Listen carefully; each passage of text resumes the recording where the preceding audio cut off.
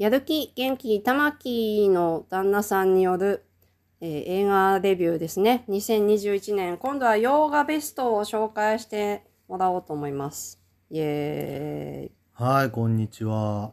引き続き、洋画編です。はい。どんなテンションだい。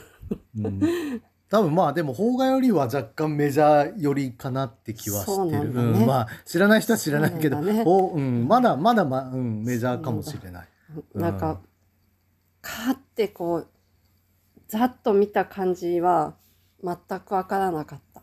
ああでもアカデミー賞とか、うん去年のねアカデミー賞とか、配信で有名なやつが多いから、うんまあ見てる人は結構見てる人の方が多いかなっていう感じはしてる。はい。うん、じゃあ、多分邦画より洋画の方がね、毎年寿命、寿命じゃない、需要があるから。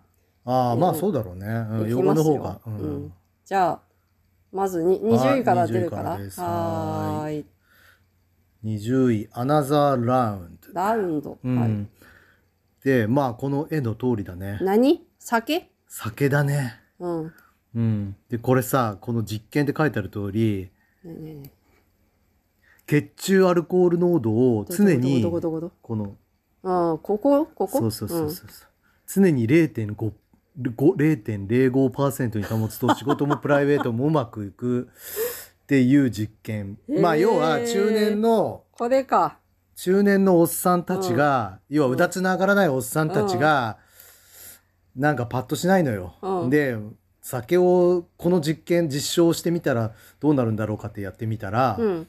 まあ0.505っていうのはちょうどいい加減なのよね。え、これって、え、フィクション？じゃなくて本当の実験ないのや違う違う違う。これは映画としてのあれ 映画だよね。ん。そうだよね。そううん。もちろんもちろん。びっくりした。ドキュメンタリーじゃない、うん。映画だよ。そういう設定だよ、ううん。んはい。たらまあ仕事も恋、うん。あのプライベートも当然ナチュラルハイだから感じで。うまくいくんだけど、うん。ただずっと0.505をキープするってことは、うん。もうアル中にならなきゃいけない。常に、うん常に入って入ってなきゃいけないから、当然そんなキープできるわけじゃなくて、うん。どんどん量も。酔っ払い方も強くなっていくっていう、うんうん。その辺がじゃあ最後にどう落ち着きますかっていうところえの、をその中年の悩みいろんな人生の悩みとともに、うんいろんなものが描かれてる単なる酒飲み映画じゃなくて、結構哀愁も漂ってなかなかえ。面面白いテーマだね。うん、なかなかね不思議な映画だけど、結構、うん、中年には刺さると思う。そうなんだ。うんうん。最後がまあねだから結構やっぱいいよねとかだから特に今さうん。こういう在宅ワークだからさ、うんうんうん多少正直飲んで若干ナチュラルハイでも顔見せなければできるね。やろうと思えばやろうと思えばできる,、できるから、うん確かいにると思うよ。飲みながらやってる人。うん。全然ナチュラルハイで効果があるっていうのは確かにそうかなと思うけどどね難しいよねその そうね。加減がね。うんまあでもただ一歩踏み出すっていう何でもいいからねお酒の力じゃなくてもいいから、うんやっぱり楽しくなるっていうのは、うん全てのそのうまくいくコツなのかなっていうほどね。感じもするね。そこに行くんだ、お酒から。うん、なかなかね深いよ、はい。深いし面白いですこれ、ううん。んはい。いいいいと思います。はい。じゃあ次、次。ははい、い。19位。19位、じゃん。「愛だよどこへ」どこへ？まあ正反対でもう、うん。あのそこに神はいなかったっていうよりいなかったってあるように、うん。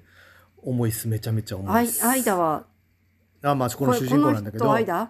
あまあまあいいや。うん。で うん。あの知らなかったんだけど全うん。然この事実はね、うん。95年スレブレニツァっていうスレブレニツァ。っていうジェン、うあのー虐殺した大量虐殺のど、どこの国ですか？件があったんだよね。これどこだっけな？ちちょっと忘れちゃったけど、うん。うん。でまあ重いのよ。で、うん。まあその虐殺の中でうん。家族を助けるために戦った一人の女性の話ドキュメンタリータッチでもうひたすら行き詰まる緊張と、ううんんいいまあ虐殺される瞬間描かないんだけども、うん。まあいろんなところでそれがもう真っ只中に没入感させられて、まあ仲の良かった人がうんうようなことになったりとか、うんうん。で結局国連っっていう組織の曖昧さ。うんうん。やっぱ今もそうだけどさうんウクライナとうんうんうん。か中国の人権問題とかうんうんやっぱりなんか解決しそうでできない一線っていうのがあってうんその辺のもどかしさとかやっぱそれも現代も今続いてる状態っていうのをやっぱり考えすごく考えさせられてあおなかなか重いけど、ううんんこういうのを知るっていうのがまず何もできないんだけどやっぱり、うん、きっかけにはいい映画だなっていうところ。なるほどね。うんはい。ー北京五輪もやってるしね、うん、そうなのよやっぱ建前とこの実態のところが全然違うから、なるほど、うんはい。はい。酒飲みからいきなうん、りいきなり、重かったね、はい、うん、飛ぶよ、はい。で18 18位マリグナント凶暴な悪夢。まあ絵の通り、うん怖いよこ基本は、うん、ホラー映画、うん。まあ毎年大体ホラー映画って1本入れるんだけど、うん。今年のホラーベストはこれかなはいっていうところで、あのまあネタバレになるから言えないんだけど、うん。まあよく思いついどうか思いつくんだけど、うん。まあよく作品化してよくここまでエンターテインメントと仕上げたなっていうところかな。うん。で単なるホラーホラーなんだけども、往年のいろんなホホラーのいいとこ取りと、うんうん。でアクションとかサスペンスとか、うん。あの普通に見て、まあ、怖いのは怖いけどね、うんうん。ただエンターテインメントとしてとにかくもう最初から最後まで面白いし、ねうん爽快感のあるラストとか。爽快感があるんだ、うんうんある爽快感あるし、へあの比較的見やすいエンタメとして。そうなんだ、うん。でも18 R18 R18 なだね。の。まあ若干グロいけどね、うん。うん。まあでもそこまで続くわけじゃなくて、うん。うん。エンタメ要素の方がうーん。異常に面白いし多少のホラー好きだったらこれがおすすめベストかな。はい。うん。はい。はい。次17 17位「Don't Look Up はい」でこれネットフリックスのうん。映画ですと、はい。さすがだね。もう豪華ゲスト。もう出演者がすごいんだよ、デカプリオにあまあ上に書いてあるけど、うん。デカプリオもうちょっと上かな。ジェニファー・ローレンスにはい。あとはティモーティ・シャラメにメリー・ストリープとかケイト・ブランシェットとか、うん。もう普通の主役級がどんどん参加して、めっちゃ出てんだ、何うんうん。うん。何かというと、はい。アルマゲドンのうん。ブラックコメディ版。あまあ監督がね、うん。こうはい。いつも社会派の、あのー皮に来る人うん。の監督だから、うん。まあ要はある科学者が、うん。もう地球が明らかに点あの迫ってきて隕石が隕石とかうん。惑星が。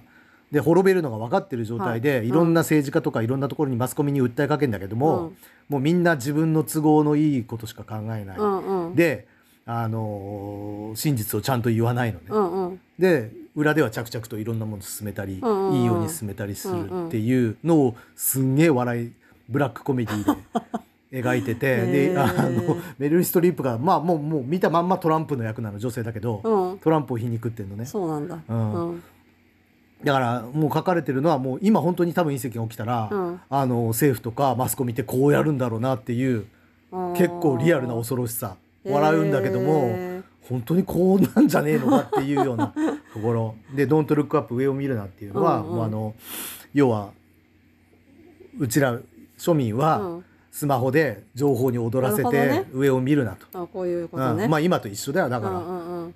ら、日本の政治もそうじゃん、うんうん結局。なるほどっていうようなあの非常に皮肉っててエンタメとしてもコメディとしても面白い。非常に面白い、はい。上を見るな。うんうん。はい。はい、はい。で16 16位。位最後の決闘裁判。はい。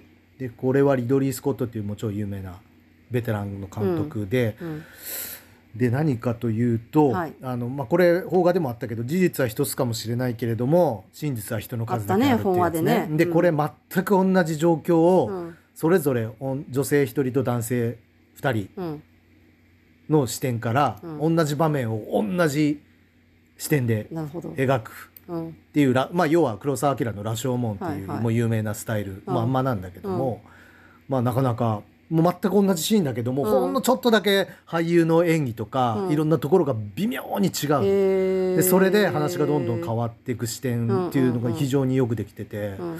二回見ろと。うん2回見たらものすごく面白さが分かるっていうところ。で、まあ、一部ではもう男尊女卑っていうかね、うん。あの時代も時代なんだけどうん。女性の蔑視がいっぱい叩かれてんだけども、うん。まあ、最後の女性側の視点から見る男たちのひどさとか、うんうん。まあ、こういうやり口っていうのは、まあ、今にも当然変わってないなってうんつながるっていうような皮肉とかメッセージっていうのもつながっていてね。うん、なかなか面白いです。はいうん。はい。はい。次。次はい15位「ザ・スーサイド・スクワット極悪党集結。これ何？もともとどんなタイトルなんよこれ」「ザ・スーサイド・スクワットで」あでまあまあ第2弾なんだけど、うん。あのスーサイド・スクワット。でまあヒーローもので今年の一番がこれかなって、で、はい。MCU ってマーベル系がいろいろ普段はあるんだけども、うん。ちょっとだんだんそれが なんだろうな多様化とかさ、うん。敵がなんかもう絶対悪として描かないなんかもうもいかにも今時のマーベルものが複雑性がな、うんうん増してるんだけどこれ、うん。マーベルの敵っていうかね DC,、うん。DC コミック版ののキャラクターなんだけど、うん。これはもう純粋な悪党だけが集合して、うんうん。あのミッションに挑むっていうもう非常におバカ、これね。うん、究極のふざけた映画で、はいまあグロさも半端ないし、うん。ブラックな小ネタギャグばっかりでキャラがめちゃめちゃ立ってて、うん。あのむちゃくちゃここまで振り切った方がなんかもうスカッとして面白い。うん、キャラが最高でした。でまあジョーカーの恋人うん。のハーレクイーンとかまこれね。あ、うん、女性のね、うん。であとサメのねここに書いてある。サメのキャラが最高なのよサメサメ男、うん もうキャラ見てるだけでも面白いし、へー。あの映画としてもススカッとして、うん、ヒーローアメコミものでは多分これが一番、お花畑バトル無双ぶり、うん。まあ見れば分かる、うん。はい、マーベルよりこっちでした今はい年ははい、はい、はい次14 14位。位フリーガイ。これも、うん。あのーこれはまあマーベルとかじゃないんだけども、ヒーローヒーローっちゃヒーローもの、うん。ただ視点がちょっと違っていて、はい。ゲームの中のそれも背景のモブキャラいわゆる。はそれが主人公っていうちょっと斬新な設あ、なるほ定どね。普段やっぱりゲームの主人公があれなんだけど、うんうんうん。もう全く背景に流れてる単なる一人。これがあの自我っていうかね、ゲームの世界だって気づいてからどういう自我を持った自我を持ったらどうなるかっていう、なかなか面白い視点で、まあもう毎日、まあ、とにかくルーティーンしかないじゃんこの人たちって。ないね。それをちょっと外したらじゃあどうなっていくかっていうのがものすごく面白いし、うん。さっき言ったマーベルのとか、うん。いろんなもうゲームキャラのなうんゲームの世界だから、うん。いろんな有名なゲームの元ネタとかがガンガン入ってて、うんうんうん。映画好きもたまんないし、うん。まあ、主役のライアン・レルノズがもうめちゃくちゃうんいい顔なんだよね。もうモブキャラにしか見えない。まあ普段ヒーローとかやってるんだけど やっぱうまいよね。うん。うん。モブキャラにしか見えないって、うん。褒めてんのかななんか。だ いい感じでへねー。これを誰もが楽しめるあのそう、うん、ものすごあこれくはすごい興味あるな。楽しいよ、うん、よくできてます、へー。うん、はい。はい13位、13位ライトハウス。これまた真逆にいったね、うん。さっきの誰もが楽しめる映画の超真逆、うん。もうこれ見てわかるように、うん。もうどっちかというとアート系ね、うんうん。で全編白モノクロで、うんうん。で A24 っていう、まあ、こういう映画ばっかりやってるうん。あ有名なあの会社なんだけども。制作制作会社制作会社 A24 って、うんまあ、映画好きはわかるけど、うん。ええ登場人物このえ二人だけなの？みでこの東大を守る役ん。目の、として2人あの派遣されてきて、うんうん。その中でだんだん正気を失っていくっていう話なんだけども、あのまあもう映像もとにかく綺麗だし、うん。音がもうすごい。嵐の音とか、うん。嫌な音がもう永遠と聞いていそうな感じで もうだんだん自分はもう不安とかなんかちょっと狂っていくような感じ。なんかヘッドホンでさ映画あなた見ながらさ、うんヘッドホン越しにも憂鬱になる音楽のあるよね。あああるね。うんうん。ドーンそそんな感じそんな感じそんな感じ。でまあ多分一般受けはしないし、うん。ただよく見ると新宗教とか神話的なオマージュとかうんメタ派っていうかガンガン入ってて、見る人によっては分かってうん。解釈がいろんなところが違うけど、まあ、うんとにかくウィレム・デフォーとあのロバート・パティンソンっていううん。この有名な2人の演技合戦だけも見事不潔なのに品と高潔がある。うん、っていうなんか不思議な感じ。気持ち悪いんだけどもうアート系の美しさっていうかね。そうなんだ。うん、あのマニアックな映画見るにはもうおすすめです、マニアックな。まあマニアック、うん、ただ一般受けはしまい。わからわからない人は全くわからない。わからないまま終わる。はい。終わる。うん、はい。続いて12位。12位春光水団。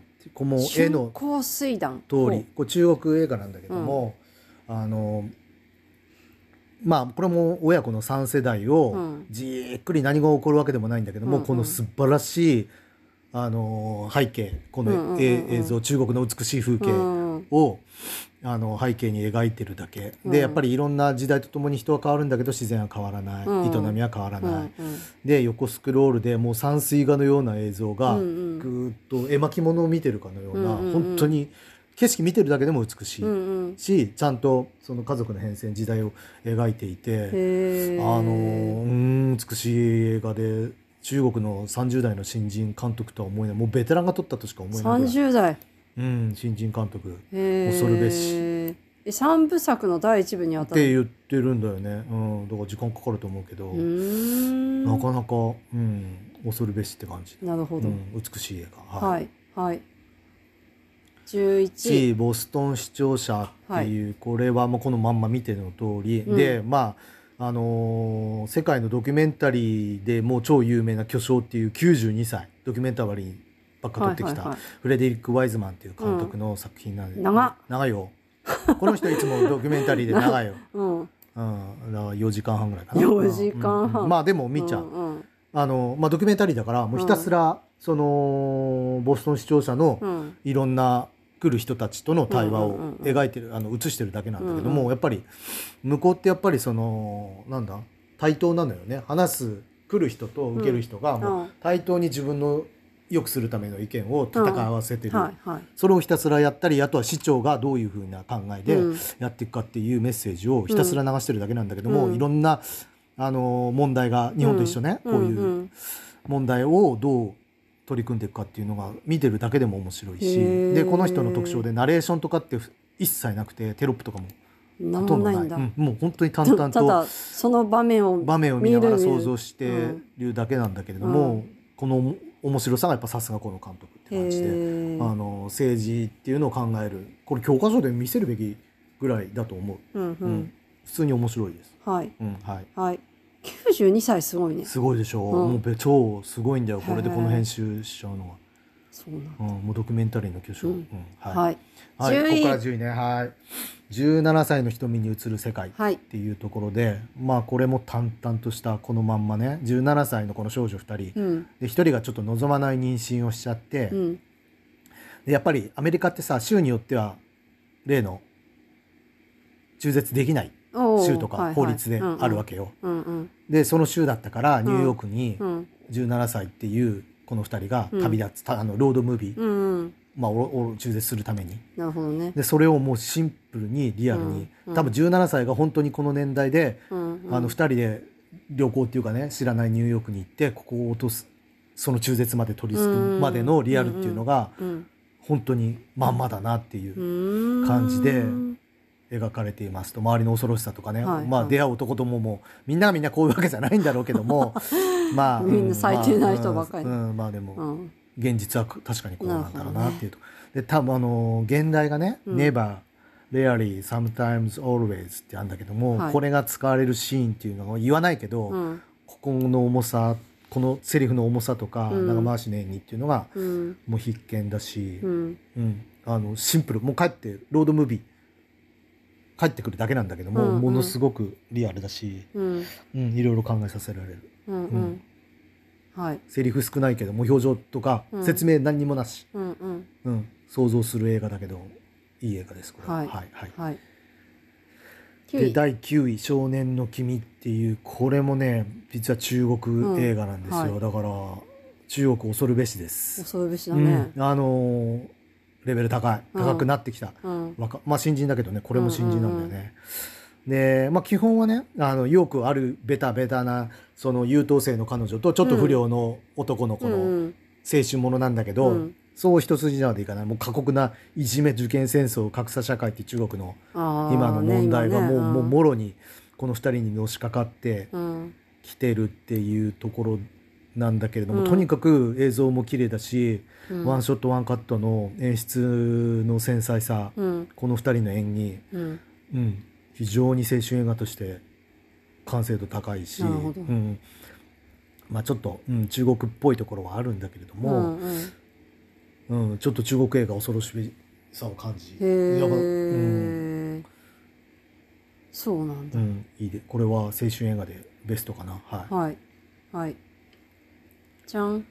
第8位「ラストナイト・イン・奏法」っていう、これはねエドガー・ライト監督って、まあ、知ってる人は人であの、まあ、コメディから、うん。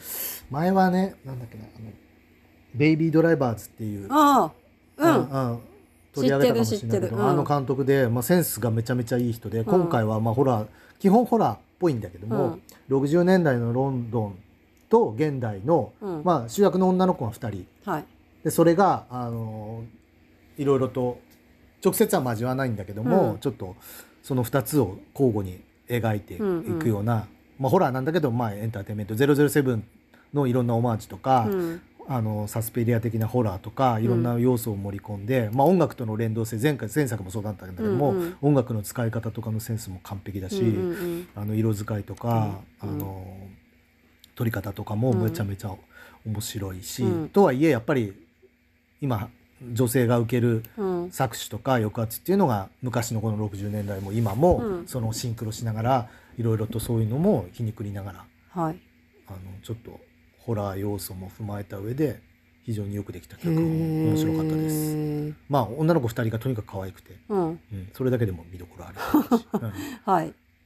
はい。センスの映画って感じ。なるほど。うんはい。第7 7位位「パワー・オブ・ザ・ドッグ」でこれははい。えーっと多分今年のアカデミー賞作品賞と監督賞を取るでしょうっていう。ピアノレッスンの人。そうそうジェーン・カンピオンっていうピアノレッスン。12年ぶりの新作。えーな12年やってた12年何してたんですか？何してたんだろうね。何してたのうん。まあさすがって感じの出来で、でまああの牧場を営む男性2人と、うん。あのそこに絡む女性。うんとあとまあその4人4人もう一人あのその女性の弟が出てくるんだけども、うんうんうん。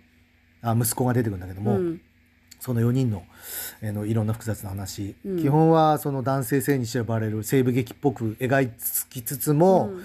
いろんなその社会的なジェンダー問題とか、うん。あのとこからも皮肉りながら書いてきてあの4人のだ誰を主人公として見るかによって全然、こえーっと見方とか変わり方も変わるので、うんうん非常にあの脚本もよくできていて、うんうん。この監督らしい映画。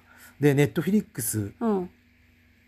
で、まあ、いよいよ作品作品賞。賞ローマですら取れなかったからね。そっか。うん。うん。多分これいよいよとうとうネットフリックスが撮るかっていうぐらい、うん、っていうようなまあ出来としては、うん、ただねオチはね個人的には分かっちゃったんだけど、うんうん。まあ分かったとしても非常によくできて、うん。え待ってこれないんだっけ？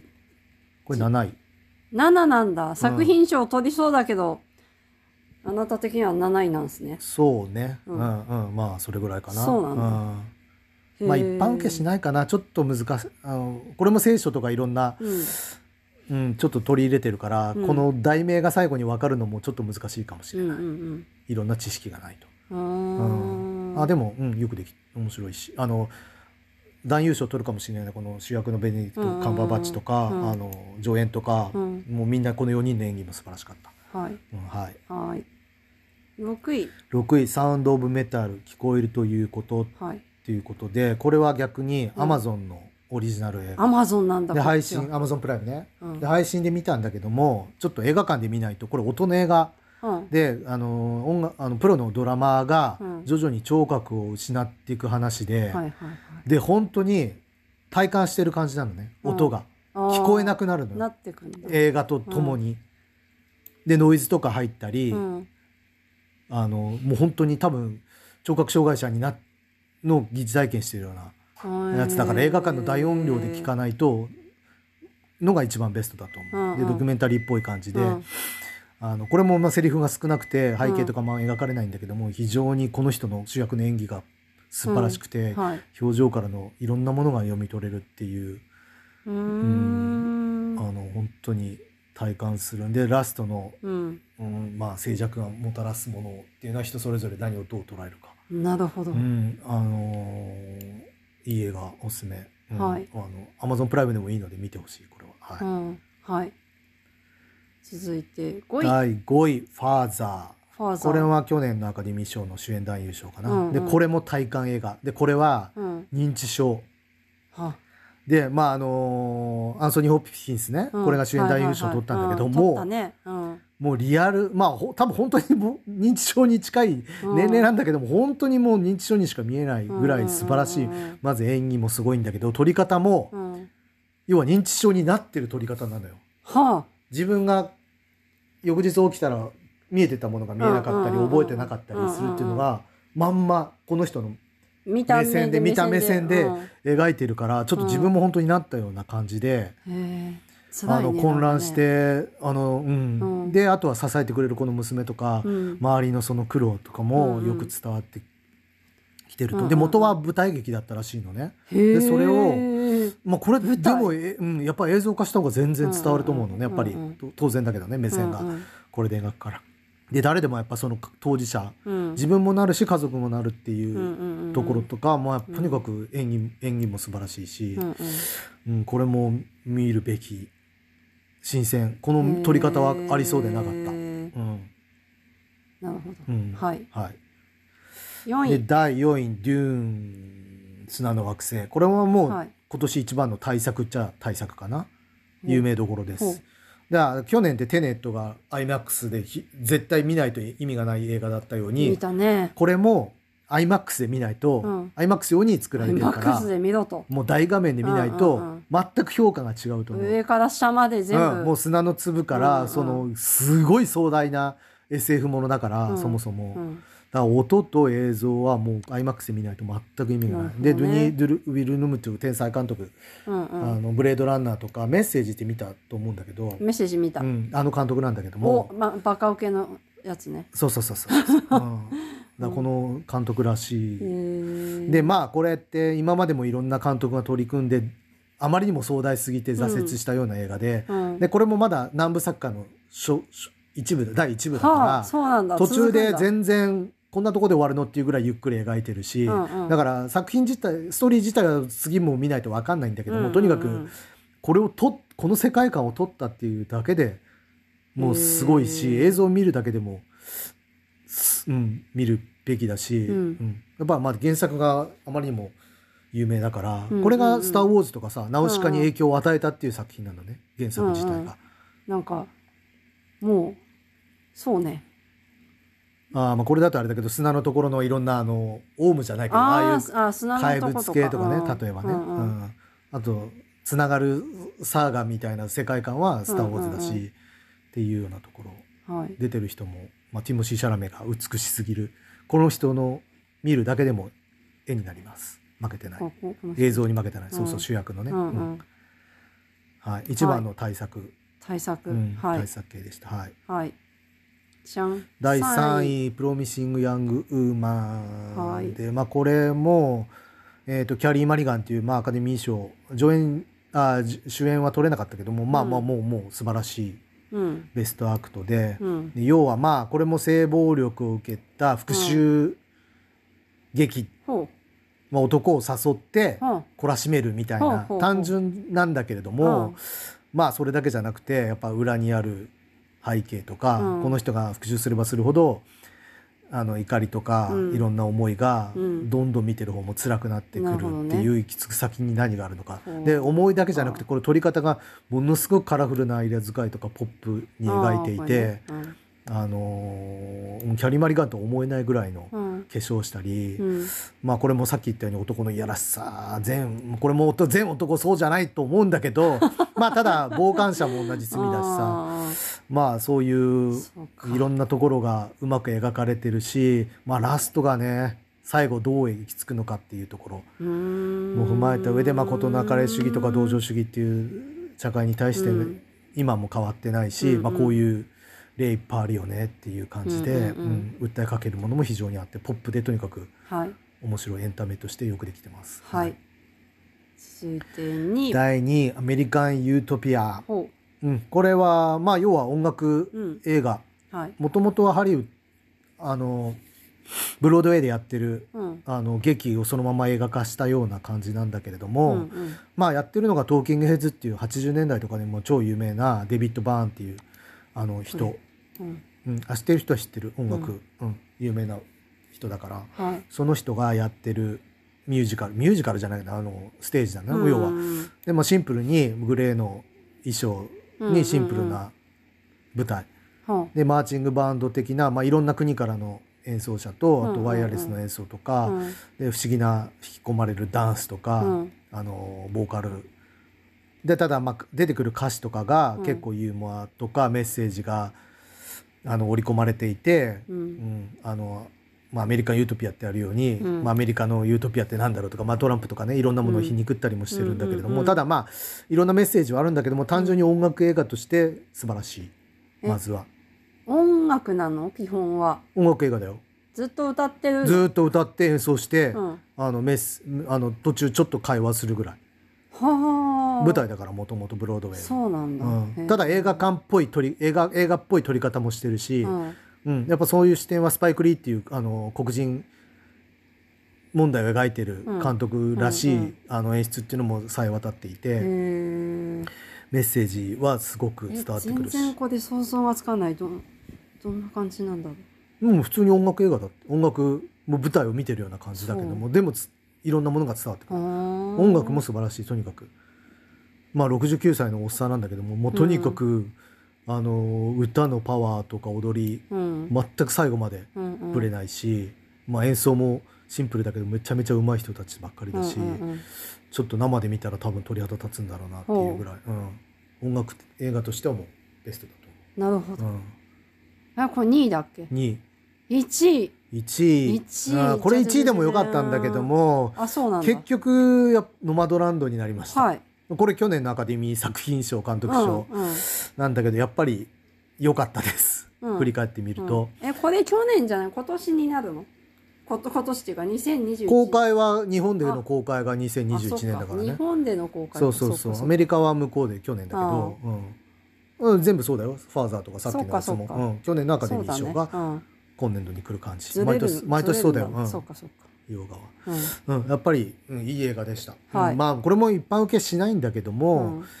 もう基本は本当にドキュメンタリーチックに感じ、うん。そのノマド生活に、うん。まあ、出てる人も主役のフランシス・マクドナルド、まあ、この人がもう主役アカデミー賞取ったんだけども、うん。もうとにかく本本物のノマドの人にしか見えないぐらい、うん。で他に出てくる人は本物のノマドの人たちなのね。本物？本物なの。だからもうほぼドキュメンタリーチックなんだけれどもただやっぱりその出てくる人たちも本当に一人一人なぜノマドをしてるのか生活をしてるのかっていうドラマがいろいろありますと、好きでやってる人もいるしななくてやってる人もいるし、生きるためあの悲しみを抱えながらこういう生活をしてるとか。のがシンプルにこれもあで背景がとにかく美しいしアメリカの広大の撮り方も映像も本当に綺麗。うんう綺麗だしそれと全部がリンクして、うん。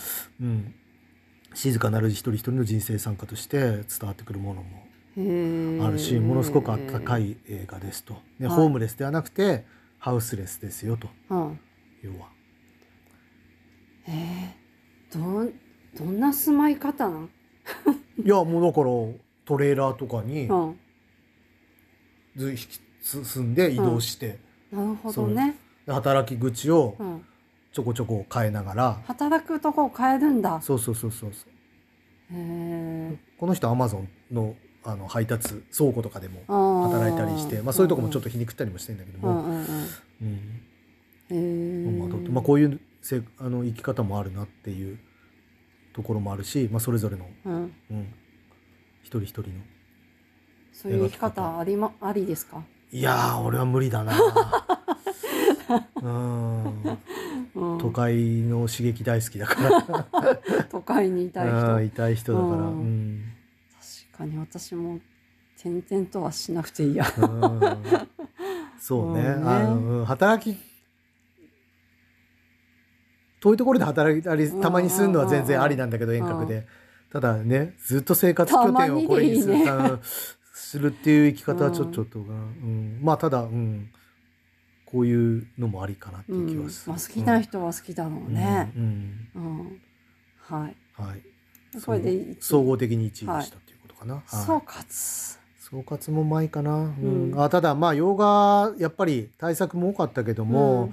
ちょっとやっぱりあの要はミニシアター系がいろいろほら岩波ホールが潰れちゃったのがととかアップリンクの渋谷とか要は対策はちゃんと今まで通りやるんだけどこういうミニシアター系がちょっと作品数が少なくなっちゃう。確かに。のがちょっと悲しいかな、まあその部分配信が充実してるからいいんだけども、やっぱ映画館で見たいなっていうミニシアターはなくなってほしくないなっていう思いがありますっていうところかな。あとはまあ今までと同じなんだけども、あ体感映画が多かったっていうところと、あとやっぱりあの多様性とか女性の問題の映画、あと中国映画のレベルの高さっていう。であとは日本映画は傑作揃いだったんだけど、うん、去年1位2位を占めたのって実は韓国映画だったんだよね、うん、パラソイトとハチドリ。韓国いなかった、ね、今回はね今年はいなかったのよ、うん、あったんだけども、まあベストまではなかったかなっていうのが、まあ、今年は邦画が全然その分圧倒的だったなっていう思いがある、はい、はい、まあ総括かな。はい。はい。あと残り辞典簡単に、うん。はい、モノス猿と呼ばれし惑星あものたちっていうところで、まあこれなかなか途方もない映画体験ってあるようにコロンビアの内戦で兵士として訓練された少女、はい、少年少女が、要はその彼らだけで生きていくことになったらっていう、あのような集団の狂気とかね、うんうんうん、で子供なりなならではのその生き方とかその、うんうん、この狂気化していくところっていうのがなかなかでジャングルの奥地とかこれどうやって撮ったんだろうっていう映像の中でなかなか斬新、うん、面白いです。はい、続いて。次水俣っていうこれ誰だと思う？ジョニー・デップなのよ。全然見えないと思うんだけど。でこれはそうそうそう。おじいちゃんだった？あ違う違う。当然演じてるよ、うん、うん、役作りはしてんだけども目立たないような、うん、で水俣これ外国映画なんだけど水俣問題を扱ったこれ写真1枚の写真があの水俣の全世界に知らしめたっていうところの写真家の話なんだけれどもこれはまあ日本で撮れないなっていう、うん。あの苦しさもあるし、まあまあ、多少は脚色してるけれども、うん。うん、あの水俣っていうのをもう一度見直すにはいい映画本当は日本でドキュメンタリーで、うん、原和夫監督の水俣マンダラってこれ6時間あって諦めちゃったんだけど、これ傑作らしいのよ。これ見たかったんだけども、これ見てたら多分あのベスト10入ってたと思う。この監督ドキュメンタリーすごいから、で多分本当はこっち見てこれこれを見て、うん、本当に分かるんだと思う。水俣の今の現実っていうのが、うん、ただまあきっかけとしてはこれありかなと思う、はい、はい、で次も同じような感じで、はい、これ外国映画なんだけど小野田、うん、要はフィリピンのジャングルで生き延びて戦争終わったけども、うん、小野田さんっていうちょっと聞いたことはあるけど実際ってじゃあどういう人だったんだろうっていうのを見たら、うん、あこういうことだったんだっていうのが分かると。小野田さんあれ？もしかしてずっと戦争だと思い続けていやでこれがね、うん、いや上司の命令で要はこのゲリラ戦を守れ死ぬな、うん、自決したりするなってこれを必死で、ま、このゲあのこの地を守れっていう命令を、で途中でなんとなく分かるのよ。終戦したんじゃねえかなみたいな。ただ自分としてはもうこれが忠誠することがもう信仰で、うん、戦争が神のような存在になっちゃってるわけよ、それが戦争の怖さなんだけども、うんうんうん、分かってたんだと思う、ね、でももうもうこれが生き方なのよ。神にはもう逆らえないと、うん、こう生きるしかないみたいな。まあこれも多少脚色あるのかもしれないけれどもああなかなかこういう新鮮な視点でこれも外国でしか描けない、うんうん、で悪い面もかっちり描いてるから、うん、この人が、うん、虐虐殺とか、うん、虐殺までいかないけど、現地の人殺したりね、っていう視点もあるからあの違った面で戦争のっていうものを考えさせられる、うんうん、なかなか面白い、はい。映画でした。はい、はい、あと「サマー・オブ・ソウル」はいでこれは、えっと、音楽のドキュメンタリー映画、うん、でこれもえっと1969年かアポロ11号の月面着陸とか、ウッドストックっていうもう有名な音楽が開催されている何も知らない一方で、うん、同じ年に黒人たちの映画の映画祭があったと。でそれ撮ってたんだけども、うん、50年間地下に埋もれていたまあ意図的なのか、まあ、こういう黒人の映画だから、こういうのをなかったことにしたかったわけよね、当時としてからも。